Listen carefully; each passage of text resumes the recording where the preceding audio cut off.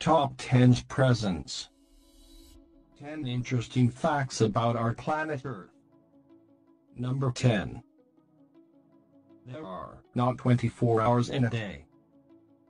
It actually takes 23 hours, 56 minutes and 4 seconds for the Earth to rotate once completely on its axis, which astronomers refer to as a sidereal day. Wait a second, doesn't that mean that the day is 4 minutes shorter than we think it is? You'd think that this time would add up day by day, and within a few months, day would be night, and night would be day. Remember that the Earth orbits around the Sun. Every day, the Sun moves compared to the background stars by about 1 degrees, about the size of the Moon in the sky. And so, if you add up that little motion, the Sun that we see, because the Earth is orbiting around it, as well as the rotation on its axis, you get a total of 24 hours. Number 9. We are nothing. This is Earth. This is where you live.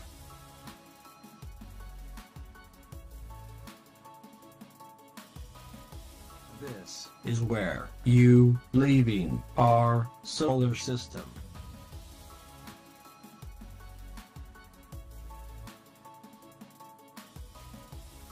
Here's a distance to scale between the Earth and the Moon.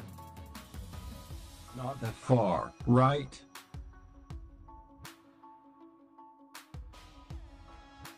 Inside the distance, you can fit every planet in our solar system.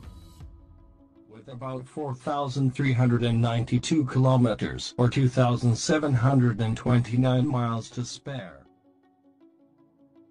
Jupiter is so large, this green smudge is North America.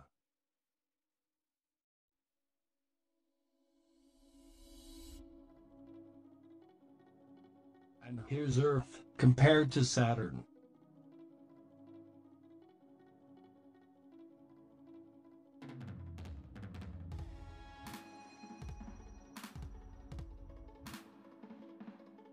Tats, nothing compared to our sun.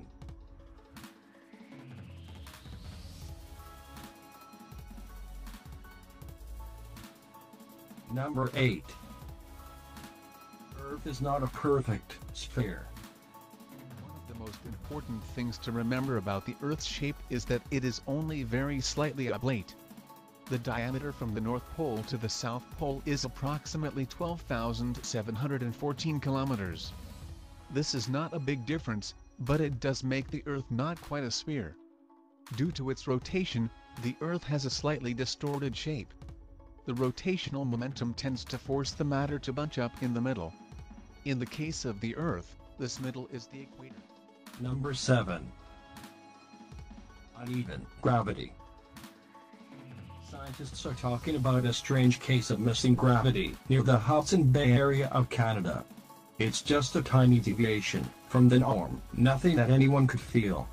But it's large enough to be detected by NASA's GRACE satellites in space. Gravity relates to how much matter something contains. And Earth's crust is known to be thinner in Canada's Hudson Bay area. Scientists believe the reason was a huge ice sheet that covered Canada and the north-eastern U.S. 20,000 years ago. The weight of the ice pressed on that region, much like a finger pushing on a spongy cake. When the ice melted, it left a huge depression in the Earth. This is the reason why there's lower gravity than other parts of the Earth. Number 6. The supercontinent.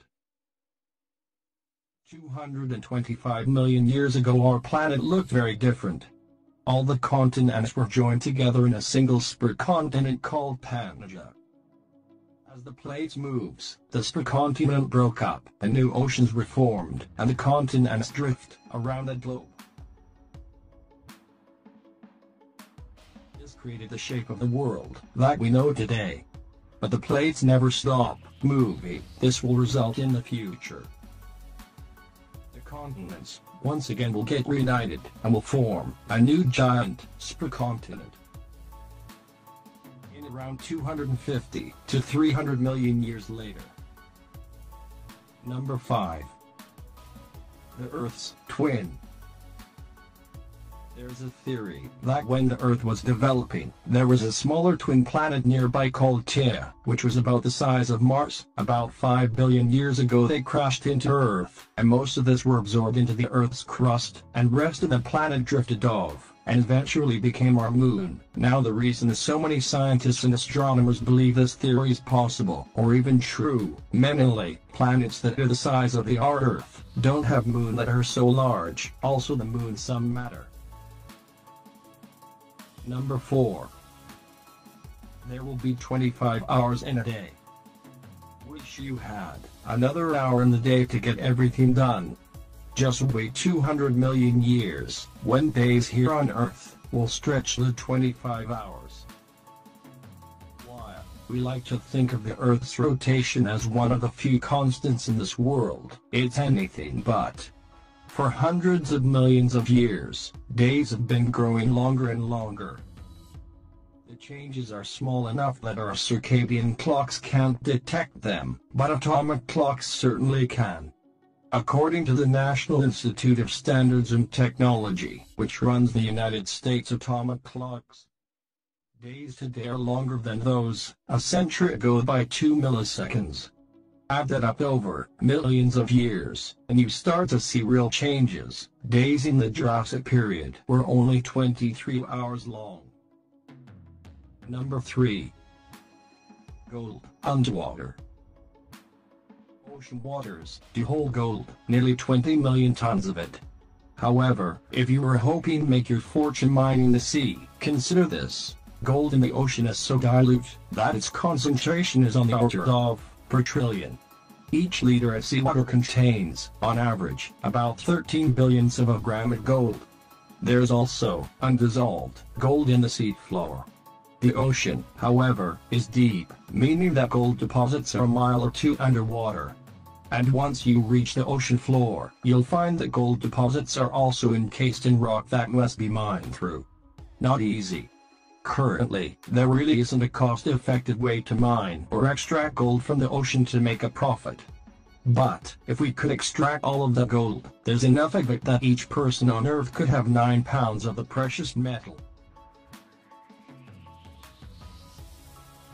Number 2. Earth has its own magnetic field. Because the core of the Earth is made up of nickel and iron, they can create magnetic field. When you combine the Earth's core and its rapid rotation process, it creates a strong magnetic field. The north and south magnetic poles wander over time. The north magnetic pole moved some 1100 km that is 684 miles during the 20th century. The strength of Earth's magnetic field varies as well. It has been decreasing slightly ever since around 1850. It is this magnetic field which protects our planet from the solar winds. Number 1. Mount Everest is not the tallest mountain on Earth. Sure Mount Everest has the highest peak on the Earth. But, if you measure it from base to summit, it's actually the world's second tallest mountain. First place goes to Mauna Kea.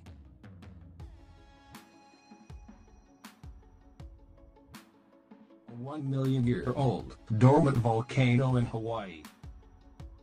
Its peak is only 13,802 feet above sea level. Because the bulk of the mountain is underwater.